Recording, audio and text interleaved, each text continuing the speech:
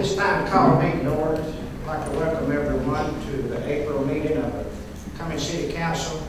First of all, a little house cleaning. Uh, Chief Tatum, if you would, remove the camera from the, from the auditorium. We don't allow filming inside of the, the city hall again unless there's specific reasons. So if you would, remove the camera. You have to move outside. That's the reason we don't have Comcast up here on the wall. We, we don't allow. This, this, Respectfully, Mayor, Georgia It's Sunshine Law. Could I have the camera removed. No, sir. Georgia law, I'm exercising my right as a citizen to record this meeting. You're- you're- Sir, you're- you're- this is an open and public meeting. I have a right by. Georgia law Step to outside. film this meeting. Ask Dana Miles. Contact Ask your the- counsel. Contact Ask the Dana lawyer. Miles.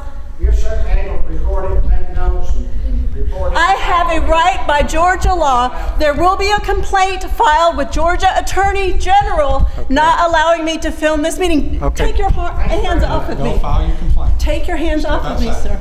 Let, let me get my, my bag, I'm sorry. I'll do- ma'am. Uh, you are violating Georgia state law, open, and, uh, at which, You're, you're certainly able to, to record it or take notes. oh, okay, very well.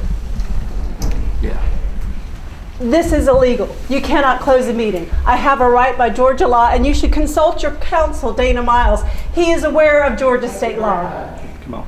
He's, he's finished. I'm ready to start the meeting. Again, thank everyone for being, being here. Okay, I'll, I'll turn it off.